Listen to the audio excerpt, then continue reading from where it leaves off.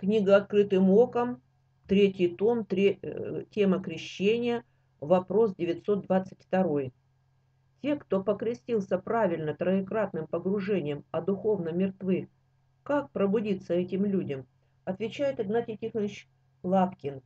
Так же, как и совершенно некрещенным, пройти тот же самый путь, уверовать во Христа как своего Спасителя и ревновать о деле спасения, думая, что таким людям их крещение без уверования не только не принесло пользы, но принесло великое смущение.